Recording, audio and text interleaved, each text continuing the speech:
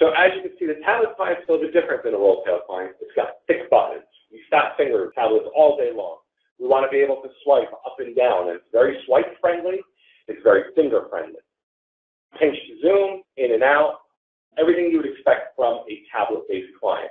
Despite the client, we still drive the Power BI reports in there. When you customize the role center within the regular roll-tail client, when you log into the tablet client, you get the same set of customization, same set of features. Same goes for the web client looks slightly different than that of the tablet client. When I talk tablets and I talk web browsers, guys, platform independent. We don't care anymore, Android, iOS, or Windows. We don't care anymore. Across the board, we have apps for all the platforms, and we work cross-browser, cross-platform.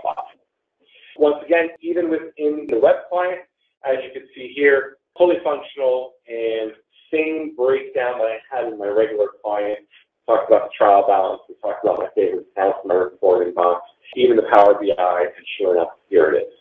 So now we have a lot of different means to deliver the product, a lot of different ways to get to it. But wait, there's more. There is a phone client. And here it is now. Fat buttons for my fingers, very smooth on the scroll up and down to be able to, to get to those same levels. Whatever cues that I set up within the roll-tail client show up here. My thresholds, my payments, I made red in the roll-tail client. You see them both here as well. So we got to see a little bit of nav on the phone, a little bit of nav within the client. This is all new stuff. Again, the ability to swipe and be able to see different screens within nav, my Power BI, some of my sales reports, and so on and so forth. All powerful stuff, all new stuff.